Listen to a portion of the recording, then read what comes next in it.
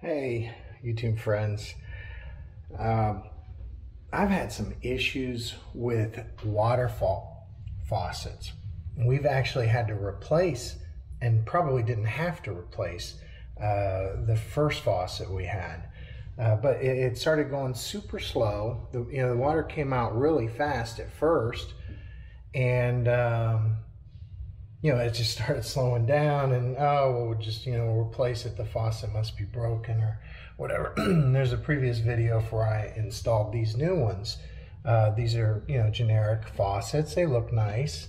Uh, but, uh, you know, six months later, and I mean, it's good for water saving. At least your water bill will go down. You know, you're going to sit there and, and wait like a half hour to fill up your cup you know, when you're brushing your teeth. Obviously, there's something wrong there. And I don't believe, you know, I see the other ones where they fix them and it's like goop and stuff like that. First of all, our tap water is reasonably clean. But secondly, I don't think it would do it that quick. I think there's a flaw here in this. I spent a lot of time trying to fix it because there's got to be a reason, right? And uh, and I, I've figured out the problem. So um, let's you and I fix this uh, faucet. I go under here, you probably can't see, but you know, the uh, little knobbies are back in here. Oh, you know what, I do have a flashlight, I'll show you. But I mean, you've seen these before under the sink. You know, the, uh, the water valve. Let's turn these off. We've gotten the faucet off and uh, you can see no more water. So to get this thing here off, we've got to pop off this little decorative uh, deal. And uh, I'm going to use uh, one of these little screwdrivers and be careful not to stab your finger. And then there you go. From the top, there's like a little bit of room, so that's good. Okay. So then uh, there's a a uh, little Allen wrench. So you gotta get it in there and it's pretty easy to find. So like that, and we're gonna turn that baby off. Uh, I'm sorry, unscrew it. Okay is. So there's the screw uh, and the handle. All right, so uh, now on some of these, well, this is decorative here. Just unscrew it right here. All right, now uh, some oops, some of the other ones I've seen have uh, grooves where you can use channel uh, locks or a wrench and unscrew it. This version here, which I have not found anywhere when I was researching this, doesn't have any way to take this off except these two little dinky holes. Now, just so you know, this part here is not decorative. It comes off, but I'm not sure if you can actually put channel locks on that and pull, screw it off that way without damaging it. But these two little deals here, you can use a spanner on if you have it. Uh, that's, this here's a spanner wrench and uh, these fit in the little holes there. Uh, I had to order this to fit that because I had nothing that would do it. and uh, I was bound and determined to get this cartridge out of here and this was really the only way I saw that I could do it. So, all right. And then you just unscrew once you get these in there just like that.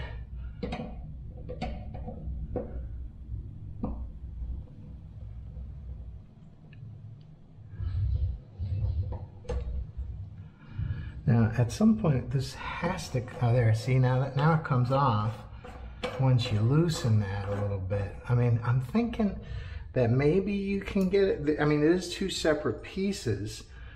Um, but you can't, there's no way to grip it. And if you use vice grips or channel locks, maybe you could put cloth on it and unscrew it. to access the cartridge. I'm not sure. But uh, you can see it's two pieces here. They and uh, yeah. Anyway, that's how I got it off with this thing here. Yay! And then this deal here just comes out. Now, uh, at first I'm like, oh, this is the thing that's the problem. But it's not. This here is not the problem.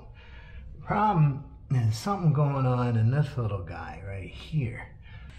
Dirt or anything in there. I mean, there's some machining flaws and, and so forth that are inside there, but you can see there's nothing coming off now. I mean, we could use a magnet uh, and see if it pulls stuff out of there. The problem is this little guy right here. Where, um, okay. So we need to pull this little green thing out. Let's get some light. That little green guy right there needs to come out of there. and you see there's no dirt in it or nothing that would be causing it. So there it is, this little green thing. Now see, there's no dirt, nothing in here. What I did is, at first, I, I on the other one over here, which you can see I've already fixed, um, is I pulled it out and made sure it was clean and put it back in, put it together, still went slow. This washer, this little rubber washer here, is there's something going on with it. Like maybe over time it gets bigger or something because, I mean, it looks okay, there's no problems. But if I take it out completely, and you can see there's no debris, in here at all that I can see. Mm-hmm. No debris, nothing going on there. Nothing in there. Um, but if I put it in without the washer, it works just fine. Now, I mean, I'm sure that washer does something, but I haven't figured out what it does yet. Uh, because it doesn't leak and it makes and it comes out without the washer in there just fine. So I'm thinking that washer is some sort of restrictor and I don't know if it expands over time. I just don't know. What I do know is taking it out lets it work and it's not leaking anywhere, you know? So we'll see over time. Look, if it starts spurting water everywhere, you guys will be the first to know. So anyway, uh, you see these two little bumps? There's two little holes in here. These, this here goes in. You can see it. It's got it's sealed uh, on there.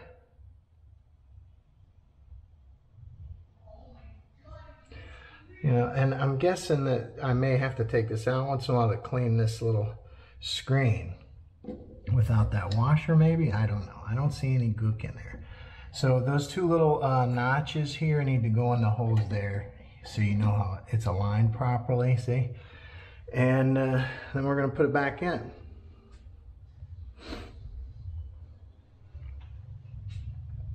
So we're back to this again.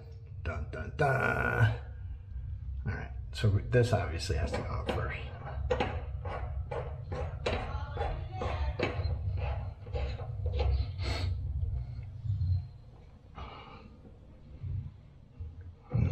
guy here screws in there. Uh, so we get our spanner and tighten that down. Whoops. That is certainly not my intention to have that leaking on us. Look at that. Uh, that's okay. Guessing it's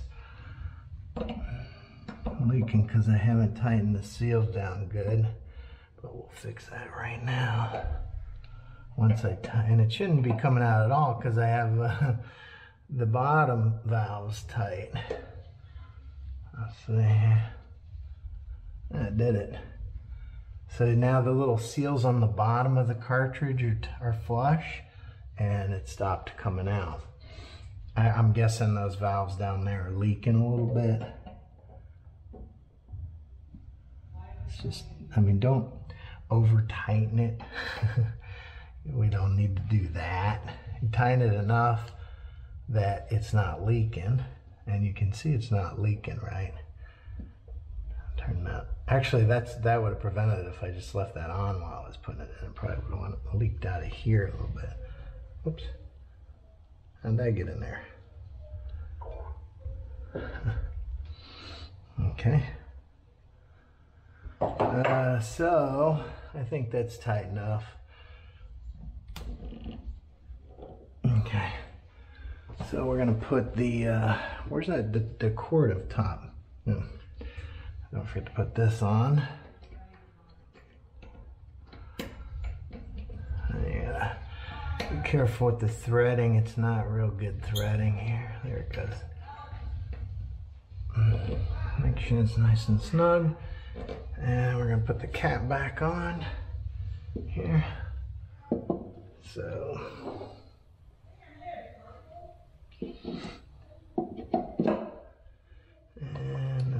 Gonna go right in there.